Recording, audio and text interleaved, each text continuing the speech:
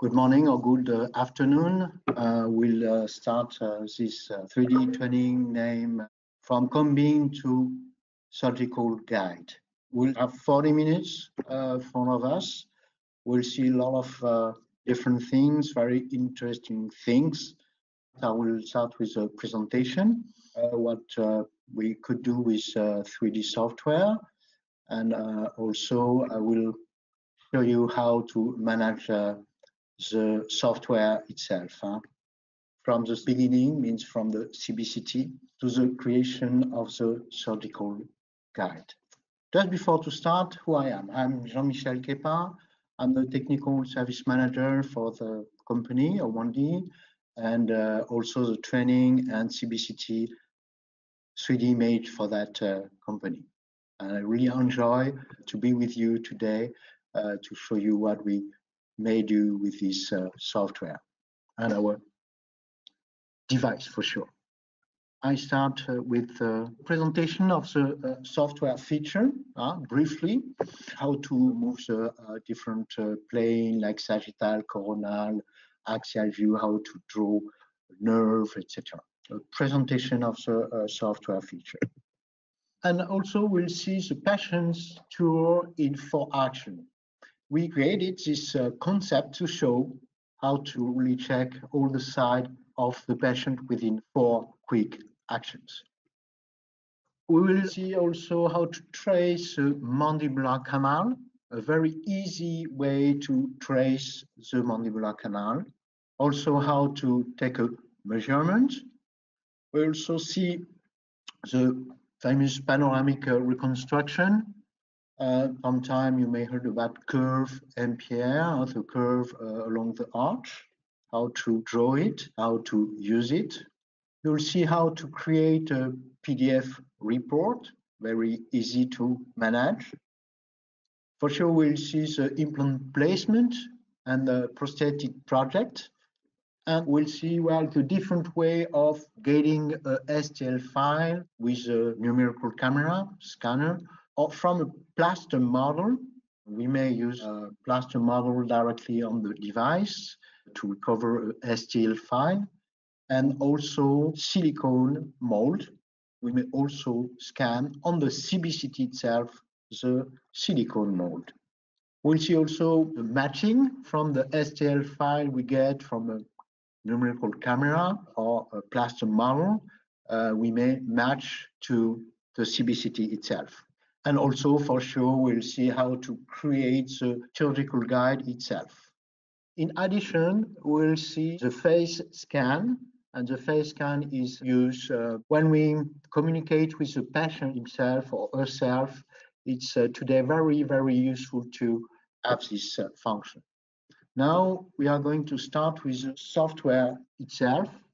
When we open a case, a 3D case, we have this uh, three view and the 3D view here. Three views, uh, coronal, sagittal, and axial view. When we take the line, we're able to move inside the volume. And this line is a red color. I read on the sagittal view. If I move the blue line, I read the coronal view. We may rotate around a point like this. And also we may move the 3D view and do some uh, things like uh, cropping the 3D view. Because if I like to work only in one area, we're able to crop the 3D view. Um, we have also on the top some uh, icons. This icon uh, give us the possibility to do different actions like uh, changing the view to go to the curve. This icon here this is for the matching. We'll see how to use it. This one is only 3d view. We'll uh, also see some function like this. This is uh, to help to see the outline of a 3d object uh, we will see later how it works. Some icons like this. If i like to show the 3d view or not? And some different kind of features also some function like this that uh, could be helpful when we like to reset the position at once, like this. Also on the left side, you may see some uh, stamps. The first stamp we have when we open the software is a filter area here. Filter helps to change the brightness and the contrast. We have a small window. If we click on it, we have the same thing.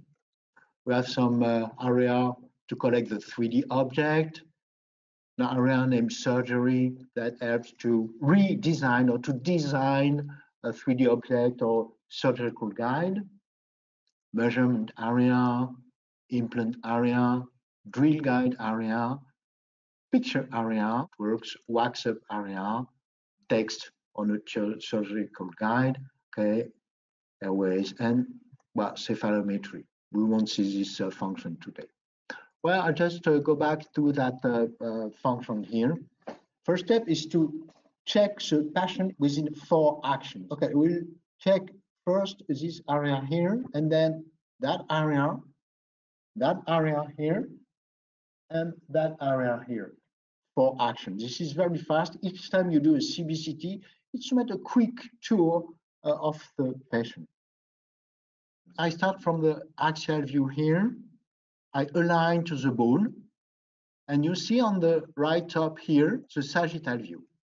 We have some function able to see the lines or not. I just use control plus wheel and I make a tour on this side. You may also pick up the directly the red line and I move inside my patient. This is the first step. I check one side. Then I go on the opposite side. I also align to the bone. And we also move left and right in a way to check inside my patient. May see some things, the bone is very thin on that area here. Okay, it was the second step. Now we are going to see the third step. Third step, uh, we go on the incision area. I go just on the top uh, of uh, number one. And you see on the right side, I see the profile of my teeth, number one. I go in the middle of them, I align to them, and you see on the left side, the coronal view, my number one and number two at once. And I just move backward, forward to check number one, number two, why not we may go to the number three. This was the third step. Fourth step will be for sure to go on the mandibular area to also align from the middle of the tooth here. And you see at once also the number one, the number two, and you may move backward, forward. This is very fast means after each CBCT, I recommend to do this small check in a way to quickly check the full mouth of your patient, for sure, if you use large volume. Um, now, the next step will be to check the mandibular nerve. Um, we have a specific technique for that, and uh, it's very fast to find it. First, we align to the bone. While a line I see on the sagittal view here. And from the coronal view, I will try to find the foramen. This is a small hole on the bone here. Well, I just move the blue line in a way to find the foramen. And now we see the exact position of the foramen. While we found the foramen position, I go in the middle of the nerve and you may see on the right side, on the sagittal view here, you see the nerve start to appear. The last action is to turn around the point here in a way to align my nerve. And you see the nerve is perfectly aligned. And now the next step is to draw the nerve. How to draw the nerve? We have a small stamp on the left 3D object. We have a special icon named create nerve.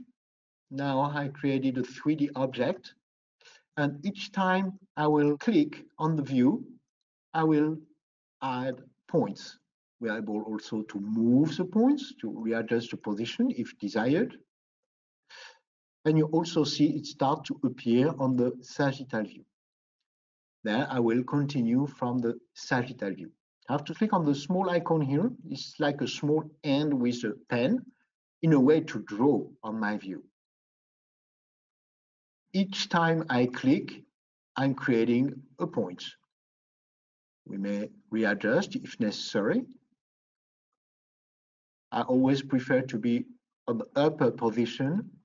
When it's finished, I just click on it and I say finish nerve points. My nerve here is drawn. Blue color, uh, I will change that color. Personally, I prefer to have a flashy color like green or yellow. It's for me better to see it correctly. This is a way to draw a nerve. Means always same technique to align to the bone, find the foramen, go in the middle of the nerve. You just turn around the point here and then you align and you find easily the nerve. Next step will be to do a measurement. On that area, everybody could see one tooth is missing. Now this is a 46.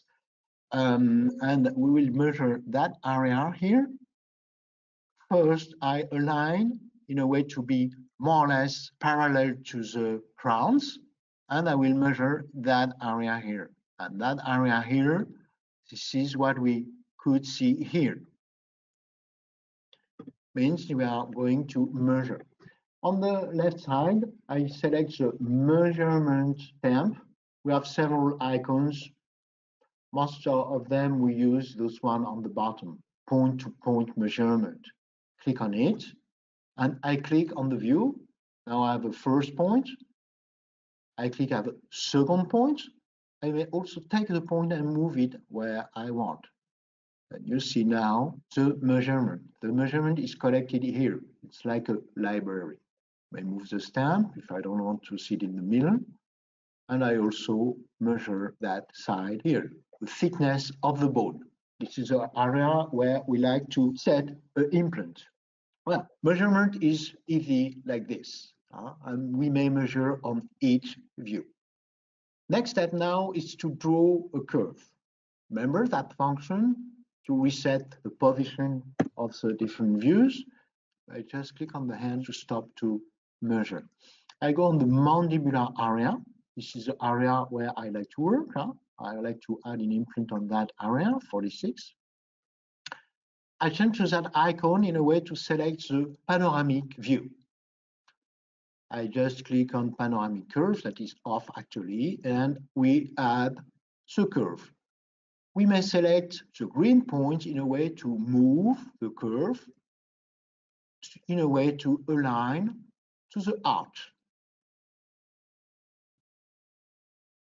We have another possibility that is to draw by hand the curve like this. That's the same. On the bottom, this is what we call the panoramic reconstruction. I may change the way of uh, viewing things, like uh, adding sharpen in a way to have a clear image. And on the right top here, you see this view is the exact position of the yellow line. This time I will place my yellow line on the desired area. And this is the area, remember, where we like to add an implant. And we have possibility to select different kind of view. Two views like this, six views, or 12 views. And we see millimeter after millimeter, the distance between two slides is one millimeter. We may read the value here, SL is one millimeter.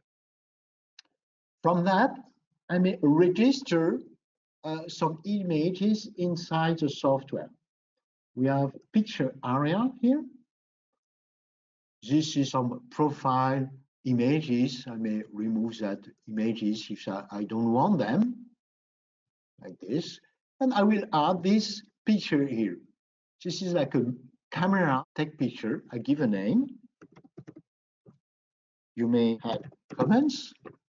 Say, okay, And now you see on the left side here, I registered my image. And we may register several images if I like to change the view to sagittal view, like this. I will select this time only one view. Okay. And I will also take a picture from that position. And you collect all the data. Now, how to uh, create a report. I go back to the coronal view. I want to export that views here. We have a function name print report. I may give a name, address, additional information, and I select the number of views, means from 25 to 36 this time. And now I'm creating my report. Have a view like this. I should say print. In reality, I don't print. This is just a way to save. So report here. Now my report is created and registered. Just open the PDF file and you see all the different views that we registered from the image area. This is a PDF, very light, very easy to handle, to manage. I go back to our 3D case. Now, the next step is to add an implant in the 46 area. Well, I just have to select the desired area, the 46 area here, and I right click and I say add implant. I select a desired implant, this one, okay. And I will also click on add WAXUP. When I do that, you see my view is uh, changing now. Uh, my implant on the coronal and sagittal view. And we have on the 3D view here, the profile of my crown. First, I will adjust the position of my crown. How to do that? Remember, I uh, show you that small icon here. I go on 3D object. I'm now one tooth number 46, and I show the profile of it, the outline. And what I just have to do first is to move my 3D object on the desired area. If I don't want to see my implant actually, because I will adjust its position later, I may disappear, disable it, and I just place on the right position my crown. I'm able to turn it from each view, to turn around the point in a way to align we may also resize the object. And I will place my object correctly. This is a, a virtual crown for sure. And you see on the 3D view here, we have the position of the crown. For sure, we adjust the position of it, last rotation. And when I turn, you may see on the 3D view here that the object is turning around. When I consider that my 3D crown is correctly placed, this time I just scale a little bit the 3D volume because I don't want to see the upper jaw. If I don't want to see the measurement, you have a small icon to hide my measurement to appear or disappear. And now I call my implant. And I am able for sure to place my implant correctly. You will see when I will release the implant automatically, the view are changing in a way to be always in a perpendicular view from the implant. And I just have to align my implant regarding the middle of position of my crown. Let's turn. Now my implant is well aligned. Well, Now I just go back to the camera. Well, talking now about the different uh, STL file, we may use for sure a camera directly and uh, scan the patient. And uh, while we scan the patient, we get the STL file. We may also use plaster models like this, and we may put this plaster model directly on the device. Well, it's very easy. On the device, sometimes people, they uh, does not know that we may use uh, like a small plate like this. We just put the model on the plate. We put the plate on the device there. We select the correct program, exam from the device, and we emit X-ray. And then we retrieve the STL file. Wow. Now I will call my STL file from the CBCT. I will show you again the software. How to call a STL file. If you use a camera, uh, it can be every camera from the market. Uh, we did some tests on different kind of uh, camera. You may use every camera you have in the house. Well, I just say import mandibular 3D model file. For that example, I will uh, use uh, the scan from a plaster. That is very interesting. I will quickly load this case just to see the look of it. If it's an image uh, camera scan, the time for loading could be a little bit longer than a plaster model example. Okay. When we get the uh, volume, the, this uh, STL file, you see now our STL model, we have to match with the CBCT. I will uh, remove this object here, and I will call also by the same way a plaster model that time. Plaster STL file issue from the CBCT on the mandibular. I will do the same job. Well, the color here is gray. I will change it. Why not this uh, color here? And I will align to the CBCT. How to align? We have a special icon here.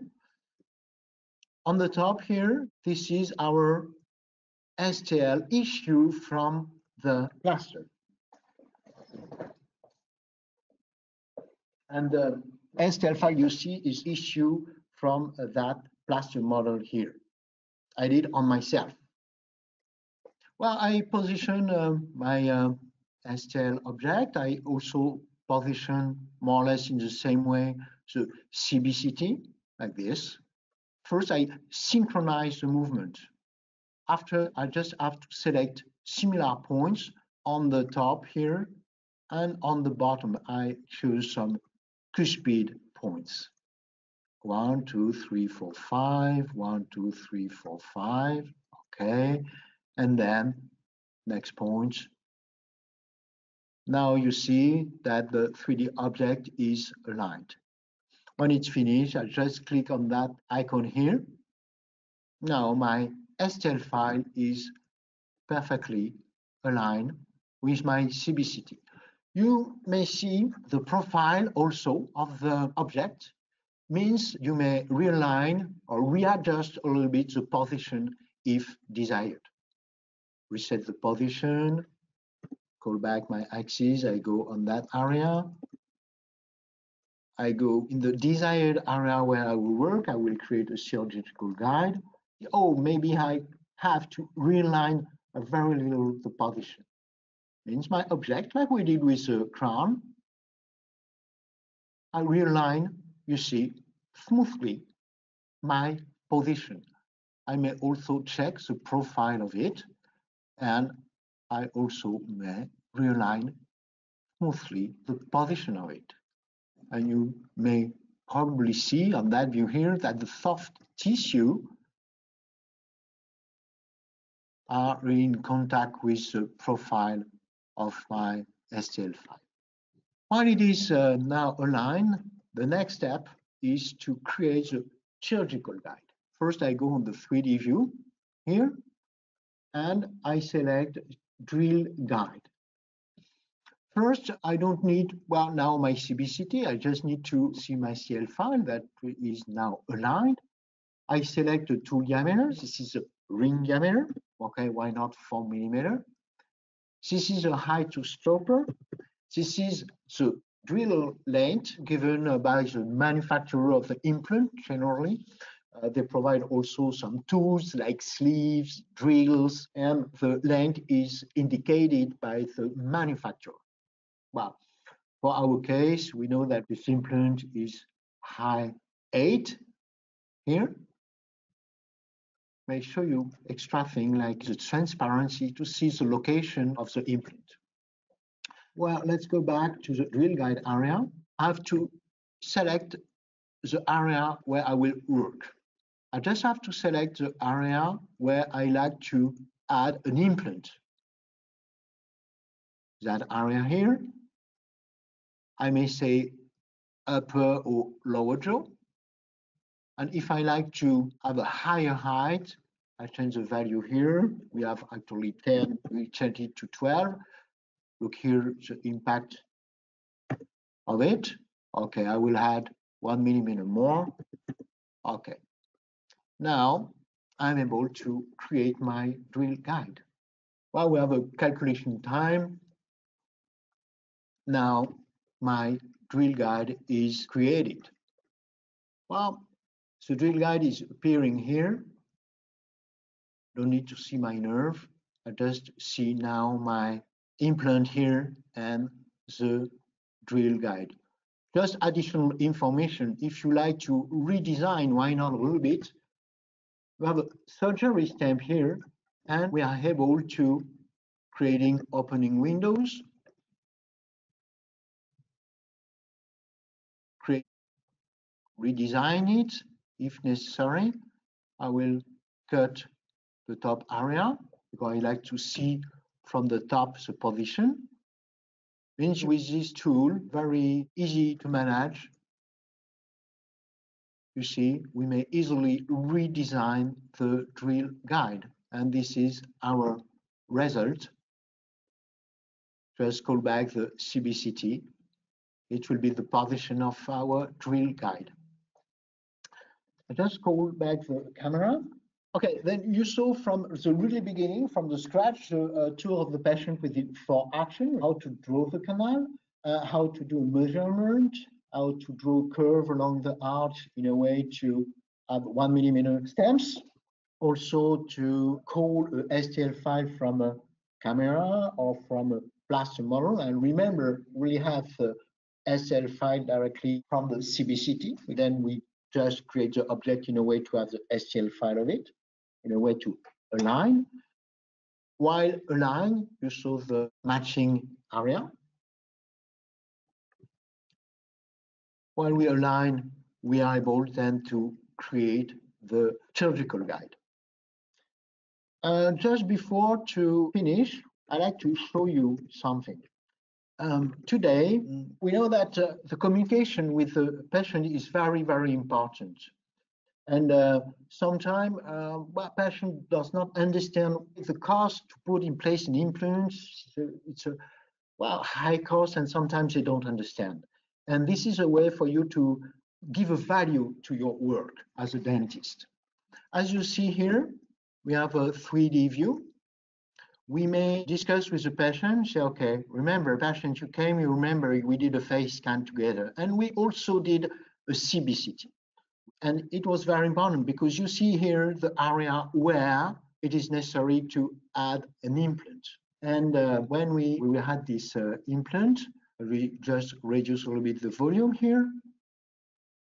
Why it's uh, very um, important to take care about the position of the nerve is uh, because we have to place the implant taking care about the nerve position. I don't have to touch it because if I touch it, wow, you may have a big disease. And uh, also we created a tooth and uh, with that tooth, we simulate the position of it, the right position regarding your arch. While we did this, and you maybe remember, we did a scan also. And uh, the scan here is helping me to see the exact soft tissue in a way to create a surgical guide and to put it at the right place.